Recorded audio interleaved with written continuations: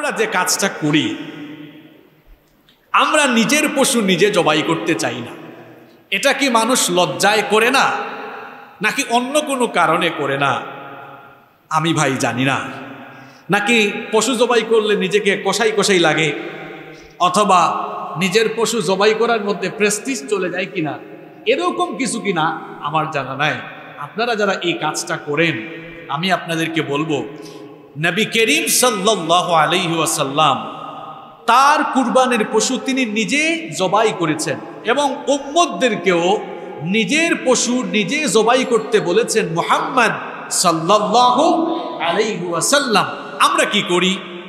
আমরা যে কাজটা করি, আমরা ইমাম সাহেব অথবা মুয়াজ্জিন সাহেবকে বিভিন্ন সমাজ, বিভিন্ন পাড়া বা মহল্লা, মসজিদ কমিটি হাতে লিস্ট ধরায় দেন। নেন হুজুর, আপনি আপনার শিডিউল মতো একটা একটা করে জবাই দিয়ে দিয়ে যাবেন। মনে হয় যেন এটা ওই দিন হুজুরের স্পেশাল দায়িত্ব। আর ব্যাপারটা হয়ে গেছে এমন যে আমরা নিজের কাজ নিজে করতে চাই না, সব কাজ আমরা হুজুরদেরকে দিয়ে করাতে চাই। আমরা অনেক সময় নিজের মা বাবার জন্য দোয়া নিজে করি না, সেটাও আমরা হুজুর দিয়ে করাই। আচ্ছা বলেন তো, আপনার বাবার জন্য, আপনার মায়ের জন্য কোনো ছোটোখাটো হুজুর না একেবারে কাবা শরীফের ইমাম যদি, চোখের পানি ছেড়ে দাড়ি ভিজাইয়া কান্না করে করে আপনার মা বাবার জন্য দোয়া করে, এই দোয়া একশো ভাগ আল্লাহর কাছে কবুল হয়ে যাবে। এমন কোনো গ্যারান্টি কোরআন বা সন্ন্যায় আছে? কথা বলেন, আছে? কিন্তু আপনি যদি আপনার মা বাবার জন্য চোখের পানি ছাড়তে পারেন, আপনার চোখের পানির পাওয়ার কত জানেন? গোটা দুনিয়ার সব সাগর, মহাসাগরের পানি দিয়ে আপনি জাহান নামের আগুন নেভাতে পারবেন না। কিন্তু আপনি চোখের পানি ছেড়ে আপনার মা বাবার জন্য দোয়া করেন।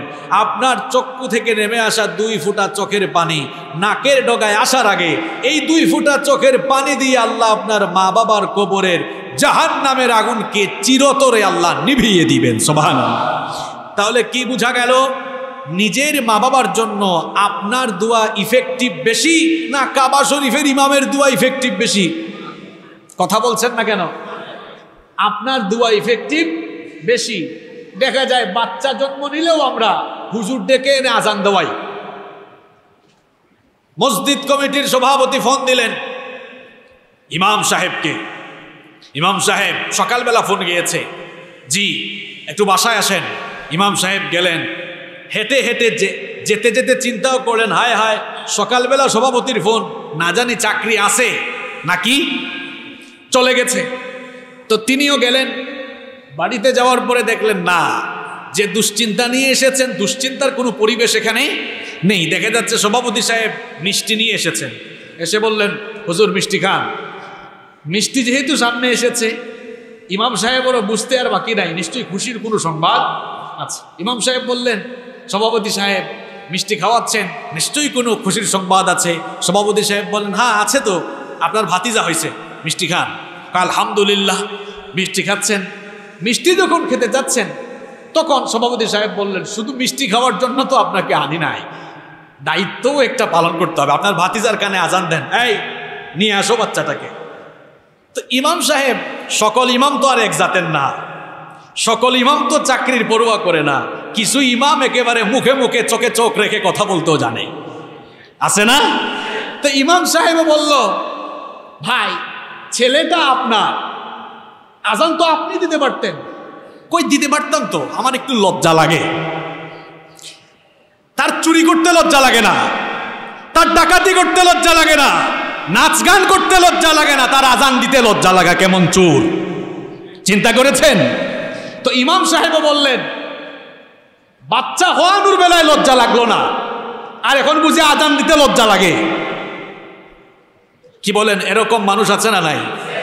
Many Muslims feel embarrass to this work অনেক মুসলমান এই ধরনের ভালো কাজে ভালো কাজে সামিল হতে সে লজ্জা ফিল করে। এরকম অসংখ্য মুসলমান আমাদের সমাজের আশেপাশে আছে না নাই? তো সব কাজ আমরা হুজুরদেরকে দিয়ে করাতে চাই। এমনকি নিজের পশুটা নিজে কুরবানি করে না। অথচ নিজের পশু নিজেই কুরবানি করবেন, এটাই সুন্না এবং কুরবানির পশু জবাইয়ের সময় আপনার মনে একটা ফিলিংস থাকা লাগবে। ফিলিংসটা কেমন হবে? আপনি যখন পশুর গলায় ছুরি চালাবেন, এই অনুভূতি নিয়ে ছুরি চালাবেন। আমি শুধুমাত্র কুরবানির পশুর গলায় ছুরি চালাচ্ছি না, বরং আমি আমার মনের পশুত্বের উপরে ছুরি চালাচ্ছি। আমি আমার সারা জীবনের বদ আমলের উপরে ছুরি চালাচ্ছি। আমি আমার সারা জীবনের পাপের উপরে ছুরি চালিয়ে তোবার নিয়তে তাকুয়ার সাথে আল্লাহর সন্তুষ্টির জন্য কুরবানি করার আমি আল্লাহর সন্তুষ্টির জন্য কুরবানি দিচ্ছি। এই ফিলিংস হৃদয়ে ধারণ করে যদি নিজের পশুর গলায় নিজে ছুরি চালাতে পারে, নবীজি বলেছেন, ওই পশুর গলায় ছুরি চালানোর পরে প্রথম ফুটা রক্ত মাটিতে পড়বার আগে আল্লাহ তার সমস্ত গুণা মাফ করে দিবে